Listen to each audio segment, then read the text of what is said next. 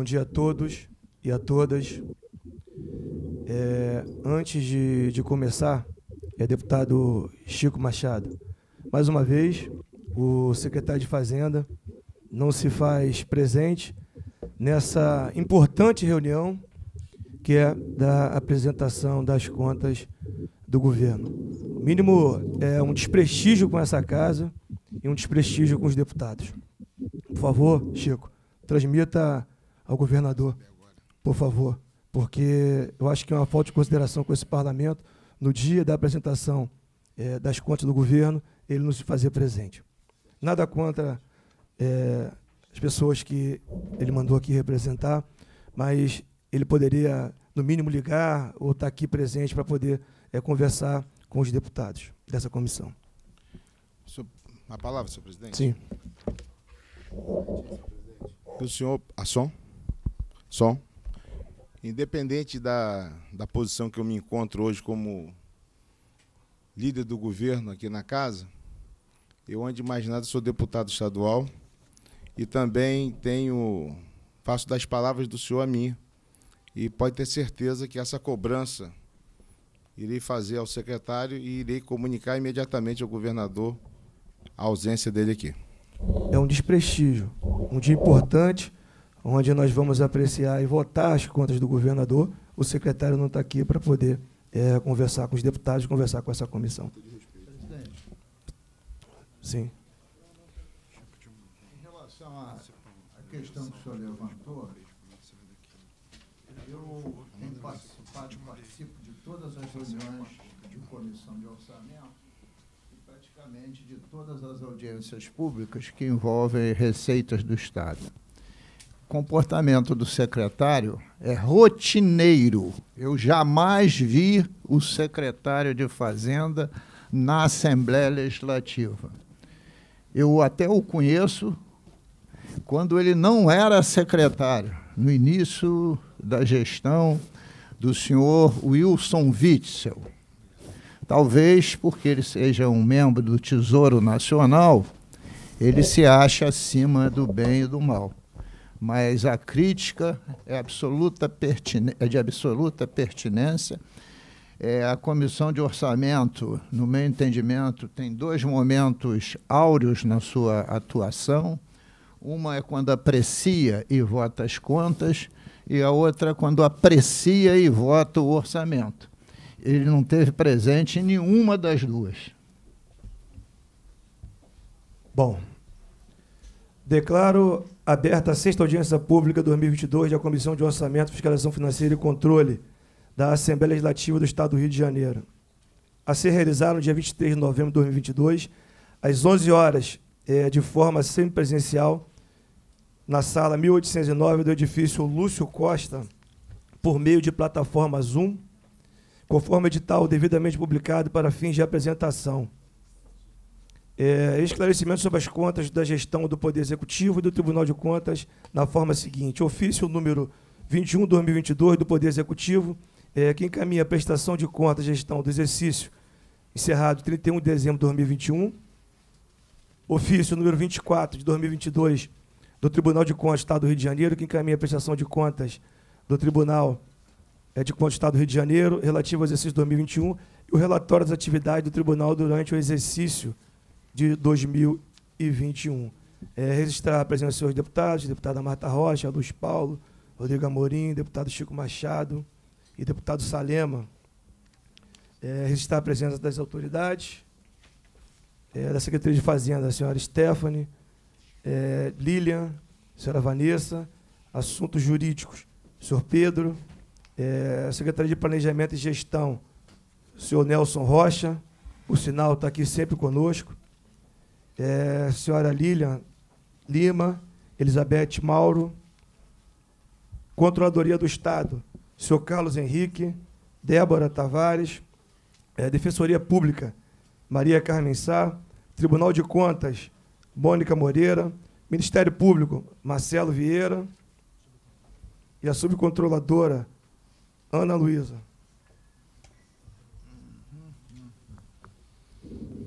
O deputado Eliomar está de boné aí. Grande deputado, garotão. e a Mônica, do TCE. Um abraço, Eliomar.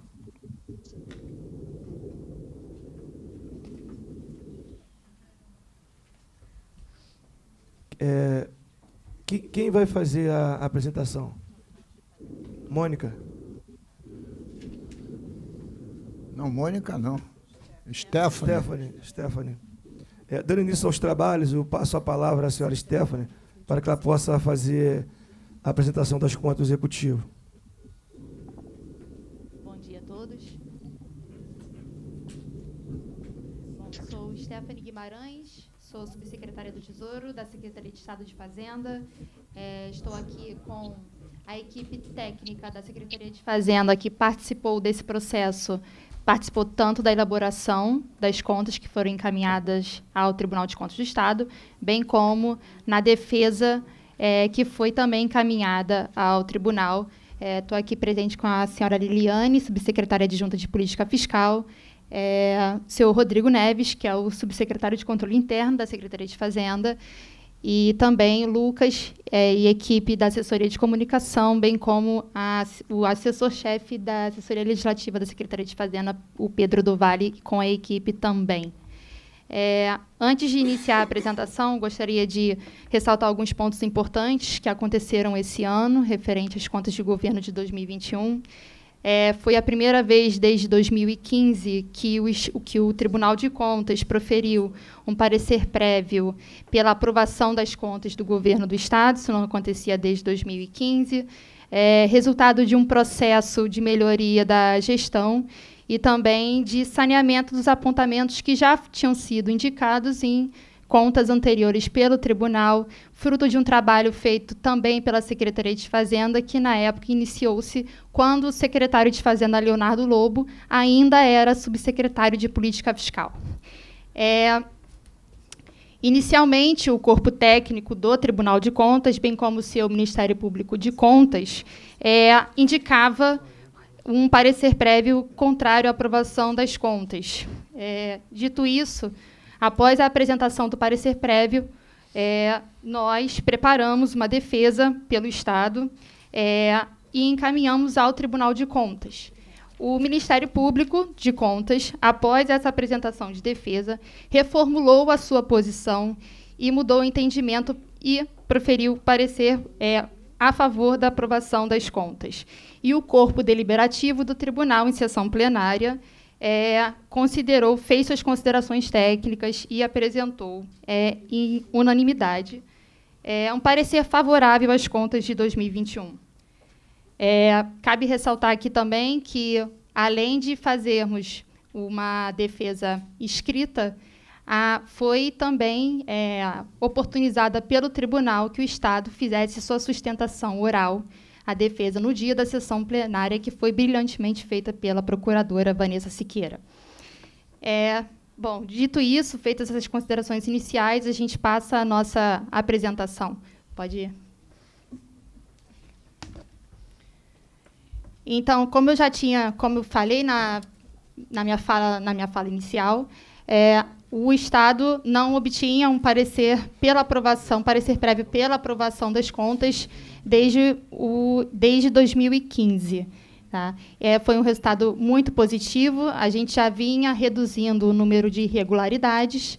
É, pode passar para o próximo slide. Então, desde 2019, essas irregularidades vinham caindo, até que agora, em 2021, nós zeramos essas irregularidades apontadas pelo Tribunal de Contas do Estado. Com relação ao primeiro apontamento, a gente aqui vai apresentar os principais apontamentos feitos pelo Tribunal de Contas, é, ao fazer a análise das contas de 2021. E o primeiro apontamento do tribunal foi, na realidade, uma falha material somente. Nós fizemos o encaminhamento é, da, da comprovação de documentos comprobatórios é, com relação ao cancelamento de restos a pagar processados que foram feitos em 2021. É, e o Tribunal de Contas, depois disso, se manifestou que a, a documentação era suficiente e afastou a irregularidade que inicialmente havia sido apontada e aceitou as justificativas é, que, que apresentamos ao Tribunal de Contas. com relação ao, ao apontamento prévio, o segundo apontamento prévio feito pelo Tribunal de Contas, que foi relacionado aos, aos recursos é, que não foram aplicados em decorrência da publicação da Lei Federal 12858, é, o Estado apresentou, né, em sua defesa, é, além das, da so, sobreposição de vinculações que é, royalties hoje no Estado ocorre, né, a equipe técnica apontou da Cefaz para esse fato que acontece. É, existe, o Estado ingressou com uma ação no Supremo Tribunal Federal é, com relação à inconstitucionalidade dessa lei é, de vício formal e material. E, em decorrência, nós apresentamos essa defesa e o tribunal, é, em, em, sessão, na sessão plenária, ele alterou para é, ser uma ressalva, tendo em vista que esses recursos é, relacionados à saúde, eles, eles estão, existe disponibilidade líquida, os recursos estão hoje em posse do, do, do Rio Previdência. Então, eles estão. É, essa sobra, essa disponibilidade líquida, ela existe, então, existem esses recursos, estão lá depositados.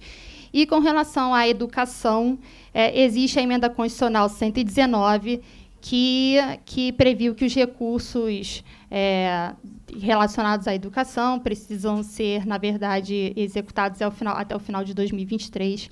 E aí, em decorrência da calamidade pública, o tribunal atenuou e é, rebaixou né, essa irregularidade que inicialmente havia sido apontada para uma ressalva nas contas de governo.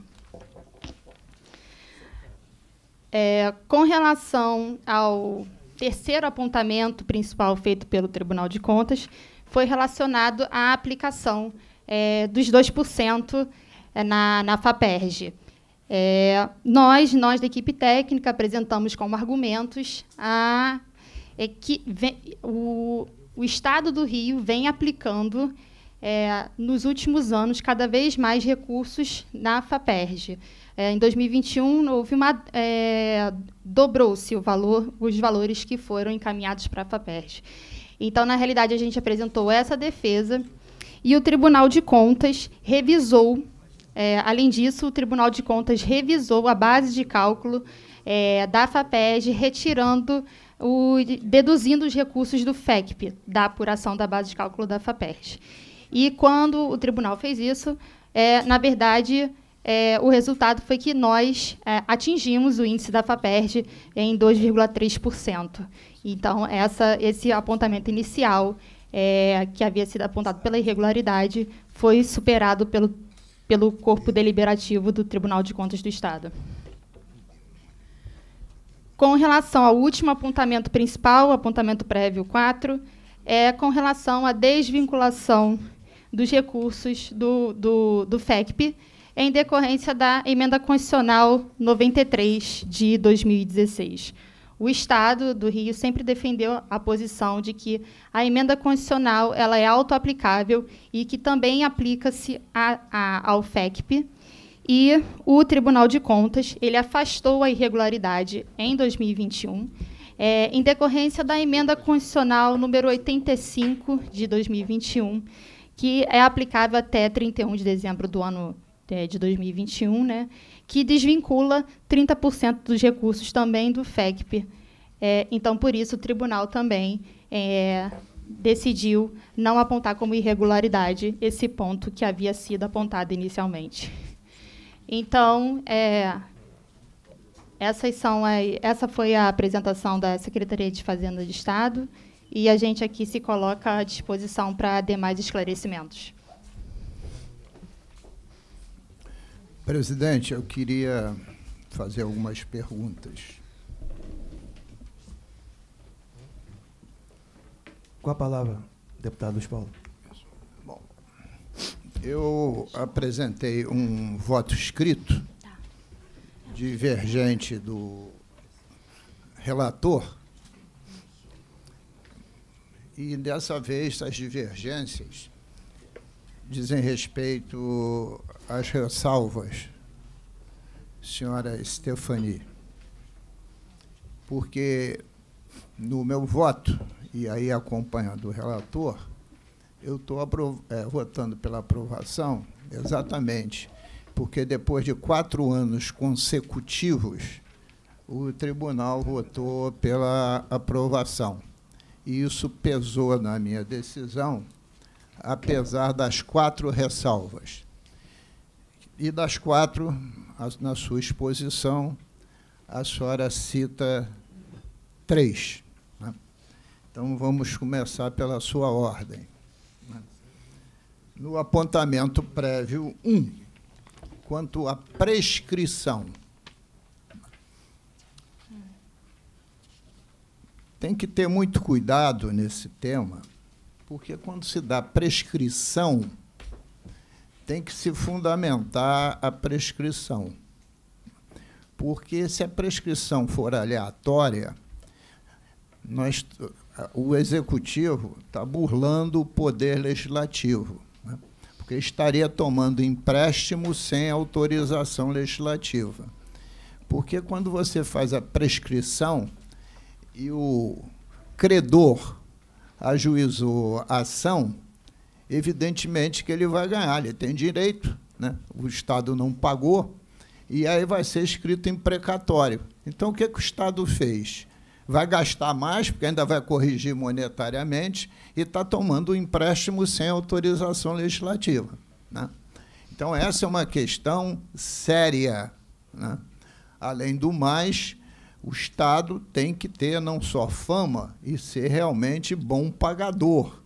Ele não pode se autofinanciar não pagando aquilo que ele deve, isto é, o serviço foi prestado, ou o bem foi entregue, ou a obra foi feita e ele não paga. Né? Então, para mim, é, eu evidentemente não vi processo por processo, só porque quem o tem é o tribunal, mas se o tribunal diz que a fazenda justificou, evidentemente eu estou acreditando no tribunal. Mas acho que essa é uma questão absolutamente séria em termos de prestação de contas.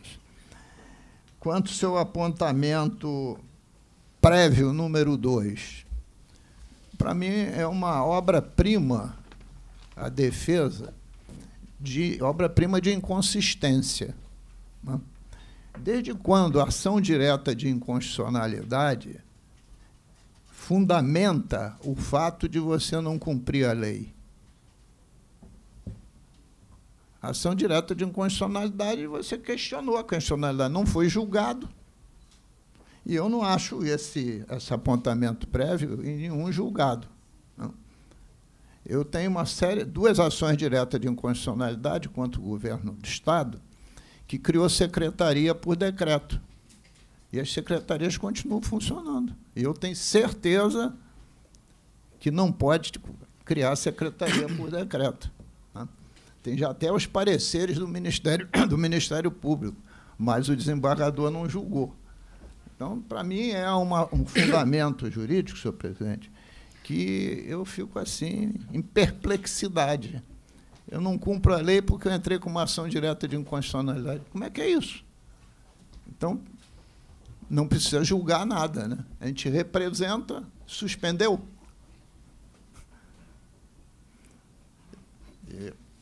enfim, é a, a crítica ao segundo apontamento prévio.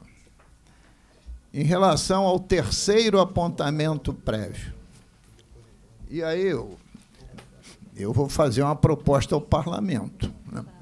Porque a Secretaria de Fazenda, senhora Stefani, sempre considerou o fundo. O que é o Fundo Estadual de Combate à Pobreza? Né? Ele vem da onde? De um adicional do ICMS, não é isso? Se é um adicional do ICMS, é imposto. Se é imposto, é receita. Então, a, a, a ciência e tecnologia, os 2%, teria que computar todos os recursos do fundo. Aí senhora pode me dizer assim, ah, mas não tem nenhum investimento do fundo em ciência e tecnologia. Eu digo, tá bem, não tem porque não quer. E essa prática a Fazenda sempre fez, de computar o fundo. Desta vez teve essa novidade. E essa novidade foi conestada pelo tribunal. Né? Então, também, ou o parlamento, ou o tribunal, ou ambos, tem que ter uma definição legal sobre o tema. No meu entendimento, tem que computar. Né? A gente vamos trabalhar nisso. Inclusive, foi uma das minhas quatro ressalvas que faço. Porque não é possível isso ser decidido ao talante do intérprete, nem do relator, nem da própria fazenda. Tem que ter uma regra né, que, quando a senhora calcular lá se investir os 2% ou não, o que, que, é, o que, que é o tributo, a receita da, do imposto? É o denominador. Se o denominador aumenta, o percentual cai. Então tem que saber que denominador a senhora vai contabilizar. Então o tribunal também tem que ter um, um critério sobre isso, ou o parlamento tem que legislar. Mas, continuando. A quarto apontamento da senhora foi sobre a DRE, desvinculação dos recursos do Estado, função da emenda constitucional federal. Né? Para fazer desvinculação, e aí eu já entrei na justiça e ganhei, né? então já está decidido, não é porque eu entrei na justiça, não pode desvincular recursos de emenda constitucional. Seria a gente ir para casa, né? se considerar que uma lei ordinária pode desvincular recurso de emenda, é, é, de, de emenda à Constituição. E os 2% é obrigação constitucional. Dito isso, a alegação do tribunal é aceitável porque a emenda constitucional 85 jogou a 31 de dezembro de 21. Então, Nesse caso específico, é, é, é, essa, esse apontamento prévio é aceitável, mas não é uma regra, porque depois de 21 não tem justificativa. Não. Mas tem ainda é, uma quarta questão que, que, eu, que foi objeto das minhas ressalvas, que eu queria arguir principalmente o representante é, do Tribunal de Contas. Para mim, é a ressalva mais grave que cabe nessas contas. Né? E é as despesas com a CEPERG e com a UERJ porque apesar do decreto do governador que, que redefiniu e ampliou todas as funções da CEPERD ter sido de 2022, essa descentralização começou em 2021. E aí, para mim, isso, esse, esse tema é de uma gravidade imensa, né, porque fere o artigo 37 da Constituição Federal, na questão da impessoalidade, da transparência, da publicidade, em diversos aspectos. Tem um substancioso relatório do TCE sobre esse tema em 22 e tem a denúncia do MP de 22.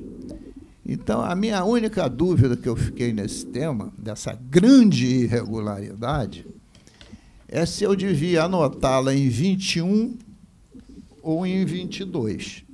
Mas, como o Tribunal de Contas, que fez a auditoria e constatou todas as irregularidades existentes no, nos contratos da CEPERG, porque ainda não vi auditoria do, das UERJ, né, mas que a gente já pediu também. Né? O tribunal não tem no relatório nenhuma manifestação sobre esse tema. Né? Eu achei que esse era um tema que a gente devia chamar a atenção, né? porque vai ser um tema absolutamente grave nas contas de 22. Então, perguntaria a senhora Stefani e ao representante do Tribunal de Contas, se o presidente me permitir, por que, que esse tema não foi abordado nas contas de 21, porque se iniciou lá.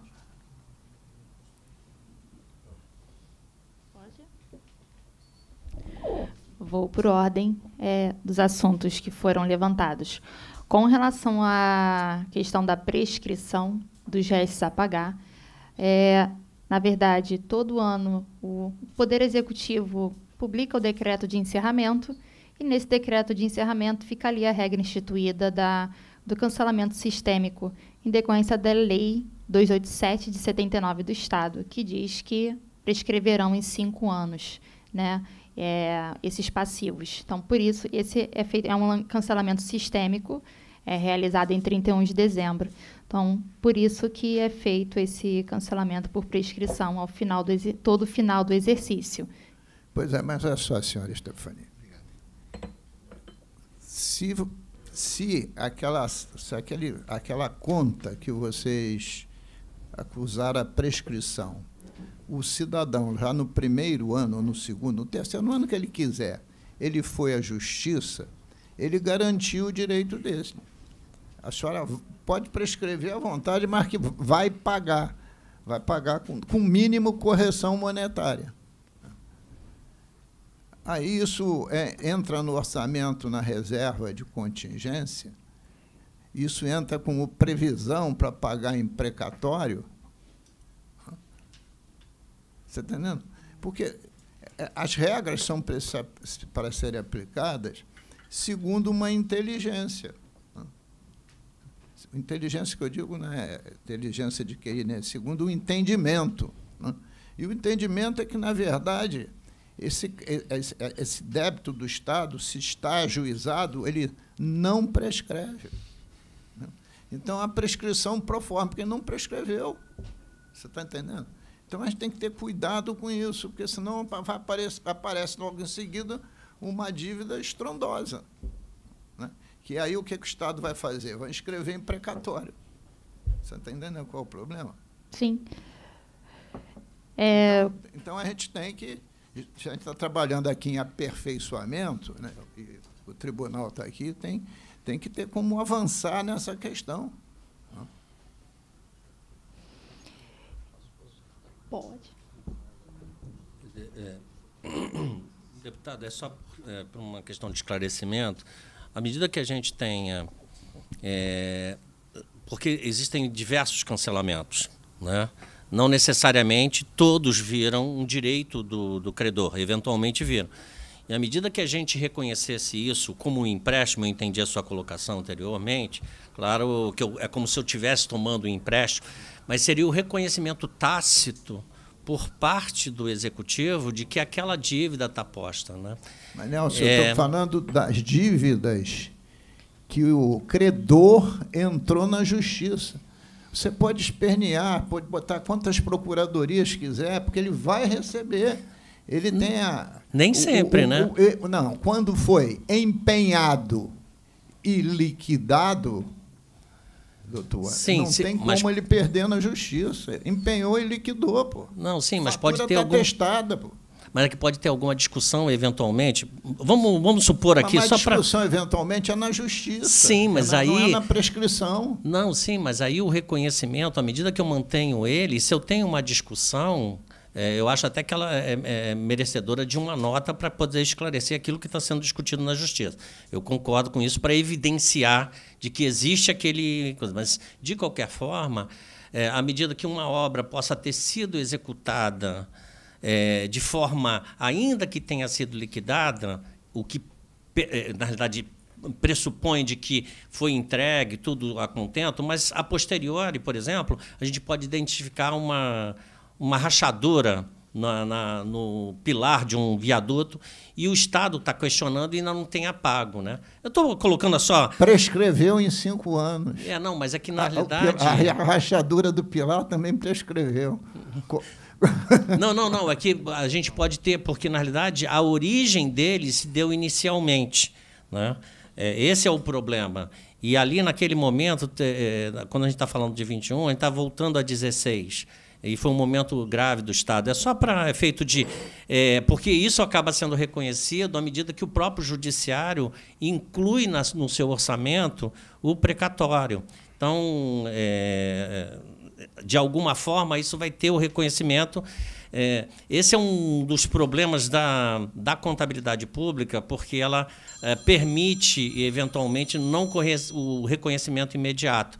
Mas, de qualquer forma, está amparado, como a Stephanie colocou aqui, é, por uma questão da própria lei permitir que se seja retirado e não, ainda que eu entenda as suas motivações, é, com as quais eu também é, concordo em, em, em, parte delas, mas também tem um outro lado que pode ser eventualmente não um passivo é, efetivo que venha a ser reconhecido. É, e só para também deixar até registrado que quando existem essas ações judiciais, é lógico que a gente tem o dever de cumprir essas decisões posteriormente, né? E aí vai ser inserido no orçamento novamente, e o Estado vai executar, né, através de despesas de exercícios anteriores, enfim, enfim como, é, como a justiça determinar na realidade, né? É, bom, com relação ao segundo ponto, ao segundo aspecto relacionado à Lei Federal 12858, eu vou até passar a palavra à doutora Vanessa, para fazer exposição, com, porque a, o parecer foi, foi um parecer elaborado pela subsecretaria jurídica da Secretaria de Fazenda e depois é, vistado pela Procuradoria-Geral do Estado. Então, passo a palavra à doutora Vanessa para... Poderia ter o microfone de pé, porque eu preciso consultar aqui no celular? Não? Não. Quer sentar aqui, Vanessa? Quero, quero. Senta aqui.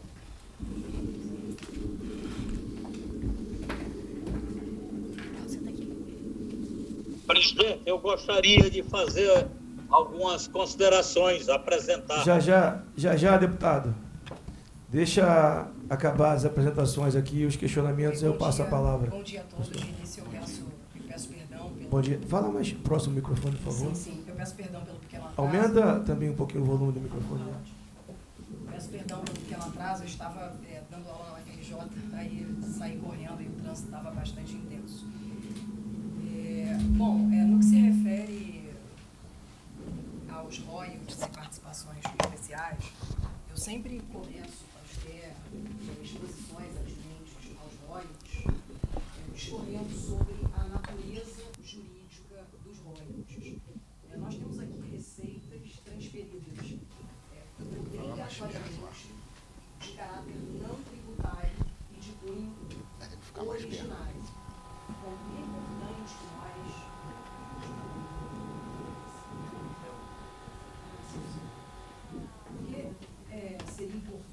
que nós é, delimitarmos é, o escopo dos royalties, porque aqui estamos de frente a uma lei é, federal, que é a Lei 12.858, que se miscui na esfera de autonomia é, dos estados, DF e municípios, determinando é, o modo como os entes políticos utilizarão os recursos oriundos dos royalties. E lembrando que royalties são compensações financeiras, compensações financeiras devidas à União e por força do artigo 20, parágrafo 1 da Constituição da República, a União tem o dever de transferir para estados e municípios é, parte daquilo que arrecada a título de royalties. Pois bem, é, apenas de sorte a que façamos um cotejo é, entre as espécies de transferências obrigatórias, eu trago aqui a lume, a baila, a questão das transferências constitucionais, tão necessárias né, à, à sobrevivência, à subsistência dos entes políticos menores. É, transferência constitucional, que é receita é, transferida obrigatoriamente, assim como os royalties. Só que as transferências constitucionais ostentam evidentemente, natureza é, jurídica tributária. Bom, no que se refere às transferências constitucionais, o que nós temos? Temos uma determinação constitucional no sentido de que o ente político maior deva transferir para os menores parte daquilo que arrecadou a título de impostos. Trata-se, inclusive, de uma exceção a um princípio constitucional orçamentário bastante é, é, badalado, que é o princípio da não vinculação de impostos a fundo, órgão ou despesa. Então, essa é uma exceção original, é, está lá na Constituição da República desde a sua promulgação. Então, a própria Constituição está vinculando, a própria Constituição está atrelando parte do dinheiro arrecadado a título de impostos a transferências para os entes menores. Lembrando que essas transferências, como o próprio nome está a acusar, são transferências obrigatórias, porquanto se materializam por determinação é, constitucional, não podem ser objeto de condicionamento, ou seja, o ente político transferidor, que é sempre o maior, não pode apor requisitos à entrega. E depois, os entes menores, aliás, pode até o ente político maior apor requisitos à entrega, retendo essa entrega na eventualidade de o menor não ter cumprido a vinculação constitucional afeta à saúde e na eventualidade de o menor não ter honrado com o crédito que teria para com o maior. É a única possibilidade de o ente político maior reter a entrega. O áudio de. Leomar, por favor, fecha o seu áudio aí, tá dando interferência.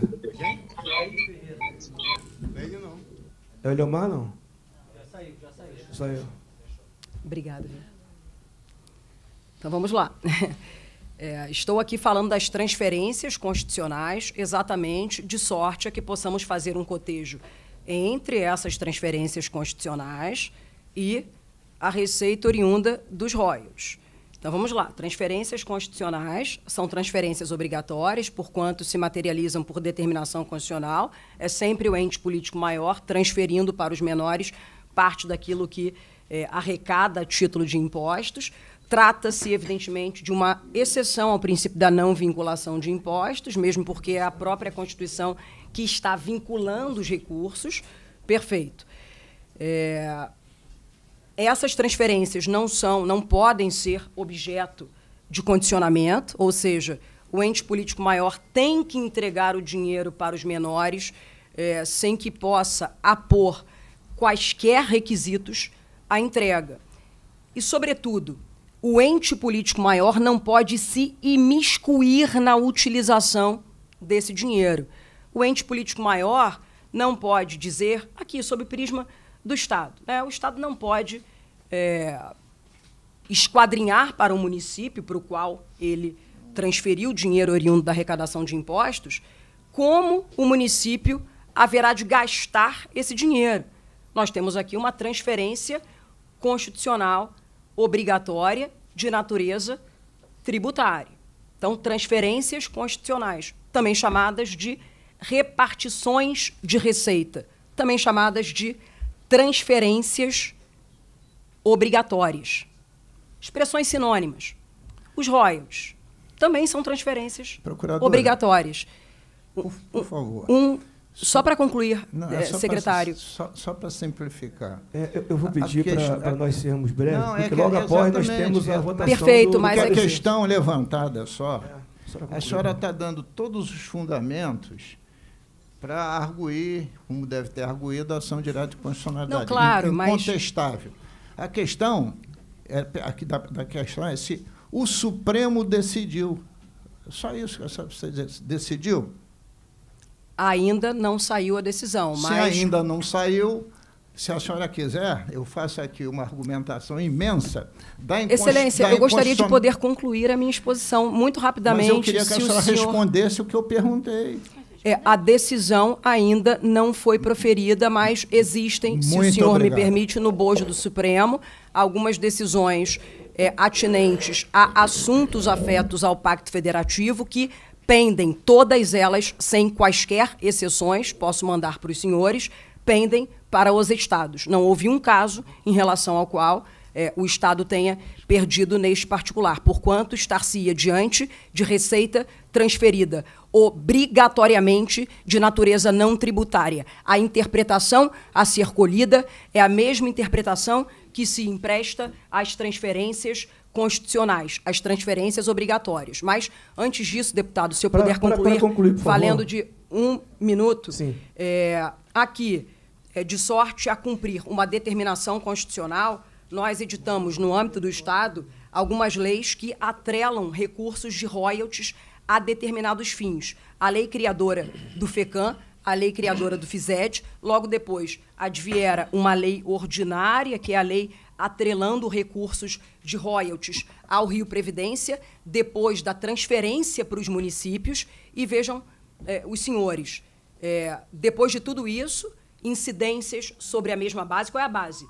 Royalties. Né? Incidências distintas sobre a mesma base, sobrevém uma lei federal determinando a vinculação, o atrelamento de 100% do dinheiro que nós recebemos a título de royalties. 75% para a educação, 25% para a saúde. Eu gostaria de saber também, é uma dúvida minha, como se faz essa mágica, né? porque nós temos uma série de incidências sobre a mesma base e os recursos são absolutamente é, finitos. Tá? E quanto à decisão do Supremo, o, o, deputado está absolutamente correto, não sobreveio ainda é, decisão de mérito, mas tudo indica que nós sairemos é, vencedores é, dessa situação, é, porquanto o absurdo é, é, já está absolutamente delineado, como é, desvela a minha exposição aqui para os senhores.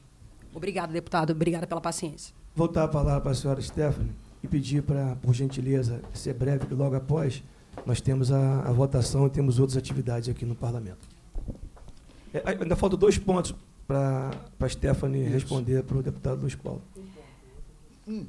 É, com relação, é um ponto, que é com relação à DRE, a desvinculação no FECP, porque com relação à retirada do FECP da base de cálculo da FAPES, eu acredito que possa ser direcionado ao Tribunal de Contas, tendo em vista que é, foi uma mudança de entendimento do Tribunal de Contas com relação à metodologia eu, de apuração. Eu fui claro, eu disse que a Fazenda tradicionalmente sempre computou, e o Tribunal inovou, por isso que eu também questionei o Tribunal.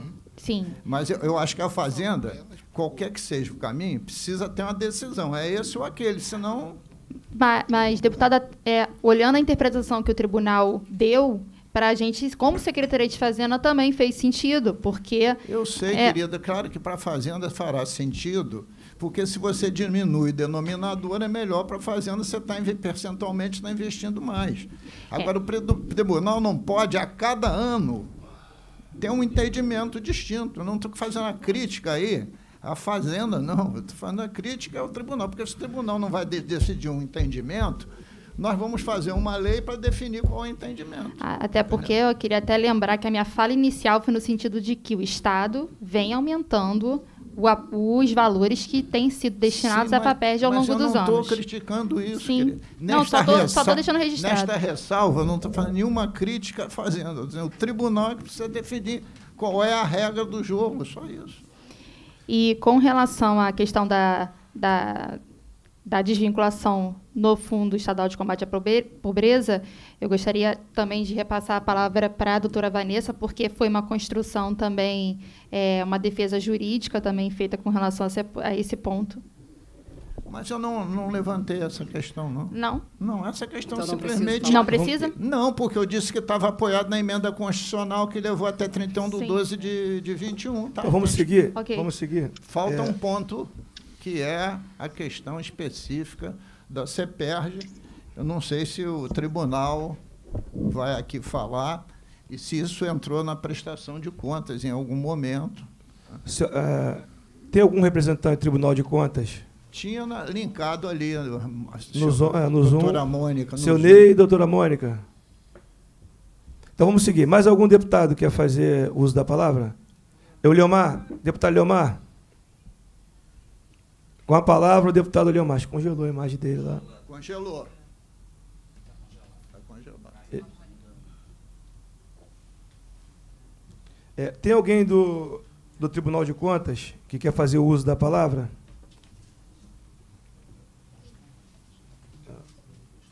Agora vou franquear a palavra, é, já franqueei os deputados.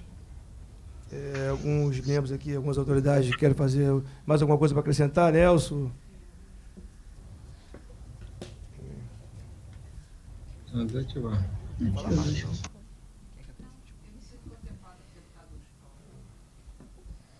Nada mais é, havendo a tratar, quero agradecer a presença de todos, dando para encerrar a presença de audiência pública. é, reafirmando a convocação dos senhores deputados, membros dessa comissão, para a reunião ato seguido. Finalidade, discussão e votação dos pareceres emitidos na prestação de contas do exercício do Governo do Estado, ano 2021, e do Tribunal de Contas. É, dessa forma, eu despeço cordialmente a todos é, solicito os deputados da comissão que permaneça presente para que a gente possa é, iniciarmos a nossa segunda reunião.